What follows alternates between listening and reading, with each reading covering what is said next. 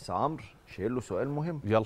والسادة المشاهدين لما كمان عمرو نزل announcement إن عمرو جاب الله موجود فكل ال comments إيه؟ والله أنا. كنت عايز اعلق على الموضوع يا عمرو. يا عمرو يا جاب الله. زيزو وفتوح ما سافروش ليه يا عمرو مع الزمالك. طب اعلق على دي اسهل؟ دي اسهل؟ الراجل نازل بمعدل اعمار وعامل شغل حلو. صح، عبد الحق بن. شيخ كمان عشان. بيربطني بيه علاقة قوية. أنا عارف دماغه مدرب ذكي جدا ومدرب كمان بيشيل الضغط النفسي على فرقته وقال لك الأحق الفوز بالبطولة. فكنت حابب أعلق بس أنت حابب تبدأ في السخن يلا لا طبعا. زيزو فتوح؟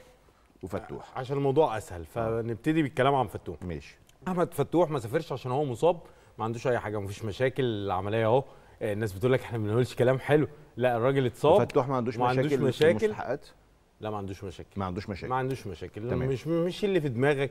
وفتوح آه، كمان قال أنا مستني المجلس الجديد يجي وما وقعتش في حتة وما مضيتش في حتة ولما يعني المجلس الجديد يكون موجود نقعد ونتفاوض هل فتوح جات له أي فلوس من بره من رجال أعمال لا ما؟ جالوش حاجة ما مفيش جالوش. مفيش حد خد حاجة من تحت الترابيزة اللي هو الترضية والهدية آه. وهنيجي فيها في زيزو لأننا هنقول بالتفاصيل وبالأرقام وبالأسماء حلو عشان. يبقى الكلام واضح الله أكبر عليك فتوح اشتكى من اصابه راح عمل آه، فحوصات في, في أحد المستشفيات في القاهرة الراجل عنده التهابات في الحوض أمامه 10 أيام هو كانت عضلات البطن فيها مشكلة فلما عمل فحوصات لقى الموضوع التهابات في الحوض ماشي. قالوا له علاج طبيعي وشغل تأهيل 10 أيام وبعد كده يكون جاهز ففتوح أمامه يعني ما يقرب من 10 أيام ويكون جاهز للعودة تاني مع الفريق وفقا للفحوصات اللي خضع عليها قبل رحلة الفريق فبالتالي هو خارج حسابات الصفر تماما للإصابة ومفيش مشكلة.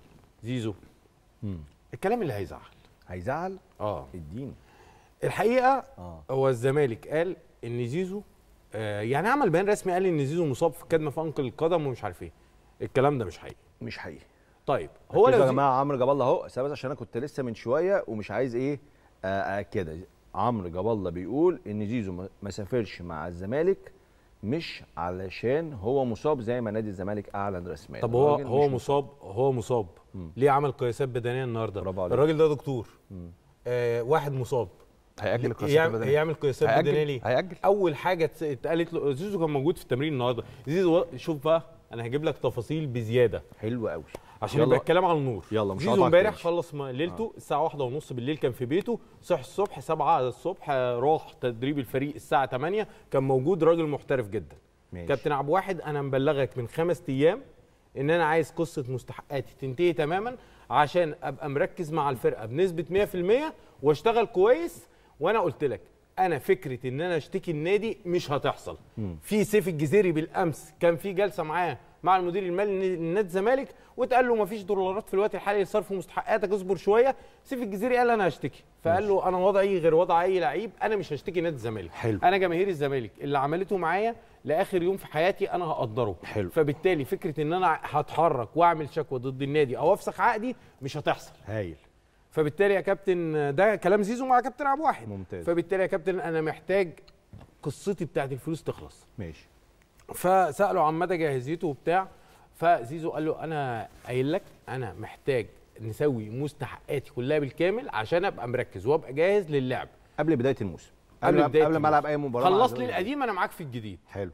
أنا مش هتكلم في الخم... آه، زيزو كلامه ان هو مش بيتكلم في ال 25% الجداد هو بيتكلم في ال-. في السبع شهور أيوة. أو الاكتر اللي ما خدهمش ال 11 مليون جنيه اللي اتحول له بالمناسبة منهم جزء حلو تعالى بقى احكي لك قصة زيزو في الأول زيزو مش مصاب بص يا كريم زيزو مبلغ كابتن عبد واحد ان هو عشان يبقى جاهز للمشاركة في المباريات زيزو هتشوفه موجود في تدريب الفرقة بشكل طبيعي أيوة. مش هيتأخر عن أي تدريب أيوة. هيروح في ميعاده ولكن هو طلب عشان يبقى مركز بنسبة 100% زي ما هو بيدي اللي النادي حقه عليه هو محتاج حقه هو كمان. ماشي. والكلام واضح وصريح وكابتن عبد واحد متبلغ بالكلام ده من خمس أيام من والد زيزو. ممتاز. فبالتالي هنرجع بس بالقصة شوية. يلا. هو اللي حصل مع زيزو؟ إيه اللي وصل زيزو لفكرة إن أنا خلص لي اللي فات عشان أركز معاه؟ لا وزيزو كده كده كان عنده مشاكل كتير بلاقي طوال الموسم ومفيش مرة قال مش هلعب مباراة أو مش هسافر. استحالة. آه إيه بقى اللي خلى الموضوع يوصل للمرحلة؟ الموضوع وصل لكده إزاي؟ آه. أول حاجة ميدو تواصل مع والد زيزو. أول كلام حصل ما بينهم كان فيه مشكلة كبيرة. إيه المشكلة؟ مش مشكلة في الم... في, في الكلام يعني. المشكلة إن ميدو جه برقم لوالد زيزو مش ده الرقم اللي زيزو ناقص وما خدوش. يعني هو ال- الإدارة اللي كانت موجودة بلغت ميدو مثلا إن زيزو باقي له مليون 2 مليون وهو زيزو ليه 11 مليون أو 5 ماشي. مليون أو 6 مليون. فالرقم كان فيه تضارب. فوالد زيزو قال لك كابتن ميدو ده مش الرقم اللي المفروض زيزو يبقى باقي له من عقده. تمام. فكابتن ميدو قال له إزاي ده الإدارة في النادي بلغتني إدارة الكورة بلغتني كذا كذا كذا كذا. قال له الكلام ده مش حقيقي فبالتالي آه، ممكن تراجع الم- الملفات تاني وتشوف اللي استلموا اللاعب واللي وصل لك هتعرف إن في تضارب وفي غلط في الحسابات. حلو. القصة دي فضلت شوية شوية شوية لغاية ما جت البطولة العربية. الكابتن آه، زيزو بلغ كابتن عبد الواحد السيد ووالده بلغه إن هو في مشكلة في سفره مع الفريق وإنه هيبدأ يناقش العروض اللي عنده لأن واضح إن مفيش التزام بعقده مع النادي. حلو. يعني اللعيب بيبقى موجود وبيشارك وبيعمل كل اللي عليه وفي الآخر ما بياخدش فلوسه. مظبوط. واللعيب مش حابب يشتكي النادي. حلو. فكابتن عبد الواحد قال له طب حضرتك اتكلمت مع مين؟ ده والد زيزو. قال له أنا اتكلمت مع الإدارة واتكلمت مع ميدو واتكلمت مع كل الناس اللي كانت موجودة. ممتاز. وآخرهم ميدو. حلو. قال له ليه ما كلمتنيش أنا وأنا كنت حليت الموضوع؟ قال له طب أنت محتاج كام قبل ما نسافر؟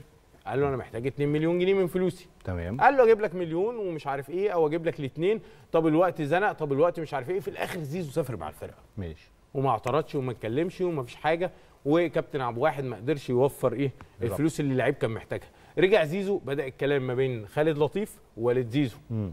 إحنا هنوفر لك الفترة دي 2 مليون قال له لا ده أنت لو تحسب التراكمات اللي حصلت هتلاقي إن دي دلوقتي أنا محتاج 5 مليون و6 مليون مم. أنا ليا فلوس كتير جدا والموضوع على نهاية يعني لما نيجي نبتدي موسم جديد زيزو هيبقى ليه بتاع حوالي 11 مليون مم. فأنت المفروض تديني خمسة أو تديني اثنين المهم في الآخر قال له اوفر لك مليون تعالى استلمه. راح والد زيزو يستلم المليون. قال له لا إحنا مش هنقدر والله نصرف لك من خزينة النادي. قال له طب أنت جبتني من المنيا عشان في النهاية تقول لي أنا مش هقدر أصرف لك من خزينة النادي. أمال جبتني ليه. قال له لا والله إحنا مش هنقدر نصرف لك بشكل فوري ومش هنقدر نصرف لك من الخزينه هنتصرف في الموضوع. المهم يوم اتنين اتحول له مليون جنيه على حسابه. حلو. اتبقى 11 مليون أو ما يقرب من 11 مليون. حصل مكالمة ما بين أحمد مرتضى ووالد زيزو. قال له إحنا هنوفر لك خمسة ثلاثة من الخمسة. قال له لا هم مش خمسة هم 10 ونص. فضل الموضوع كده واحمد مرتضى قدم استقالته بعدها ومشي. هاي. آه، جه حصل جلسة ما بين أحد رجال الاعمال وزي- وزيزو وعرض ترضيه آه. فوالد زيزو قال له لا إحنا ناس صعايده ملناش في موضوع الترضيه ملناش في الهدايا. لو حد عايز يساعد النادي يدفع فلوس من مستحقات زيزو في النادي ونمضي مخالصة مالية. لنادي الزمالك. لو عايز تعمل حملة إعلانية لزيزو ده قصة بره النادي. لو أنت عايز يعني فاهم، تبقى فاهم. بساع بتساعد. بس الترضية لأ. الترضية اللي هي خد فلوس ده عشان ما تشتكيش شوية. النادي وتفسخ العقد ومش عارف إيه لأنه كان في وقتها كان والد زيزو مصمم جدا على موضوع الشكوى. ولقى إن كل الأبواب الشرعية اللي اللي راح لها ما حلتش. فهو كانت الناس بتهدي الدنيا بحيث إن هو ما يشتكيش وكان عرض الشباب كمان فوله ف... فالناس بدأت تقلق إن الإدارة بتتغير وزيزو أهم لعيب طيب ممكن يمشي. على حاجة بسرعة في, كس... في حاجة تانية في قصة زيزو آه اتفضل، كابتن. حسين لبيب وهاني شكري آه. وعمرو الجنايني آه. إيه، كان في جلسة حضرها كابتن حسين لبيب كابتن طارق السيد. وهاني شكري مم. وكان في اتصال مع عمرو الجنايني وكان في اتصال مع الأستاذ أحمد فؤاد الوطن اللي هو المدير المالي لنادي الزمالك في الوقت الحالي. مع الاحترام للجميع والاحتفاظ بكافة الألقاب يعني في الجلسة دي آه والد زيزو اتوعد إن هو هياخد فلوسه كاملة. وقالوا له إن المتوفر دلوقتي في نادي الزمالك عشان زيزو ياخده 5.5 مليون جنيه اللي هي نص الفلوس. فوالده قال لهم والله أنا تقديرا لجمهور نادي الزمالك واللي عملوه مع زيزو طوال الوقت إحنا مش هنتحرك ولا هنشتكي النادي رغم إن إحنا لو اشتكينا هنفسخ العقد في ثلاث أيام ده اللي اتقال نصا آه ومفيش إنذار ب 15 يوم والكلام ده. لا ده عدى شهرين مش مش مجرد شهرين. فيجي لك الإنذار بعد 15 ده عدى أكتر من شهرين توصل لسبع شهور اللاعب ما خدش فلوسه المهم كابتن حسين لبيب طلب مهلة وبالفعل آه، يعني بدأت الأمور آه، مشاورات مع اللجنة الثلاثية بحيث توفر فلوس لزيزو. هل تم تحويل لزيزو فلوسه كاملة؟ لا اللي تحول. هو زيزو تحول له فلوس على فكرة بالمناسبة امبارح يعني. آه، زي زي باقي اللعيبة ما تحول لها فلوس بس, هو ما تحولوش فلوسه كاملة.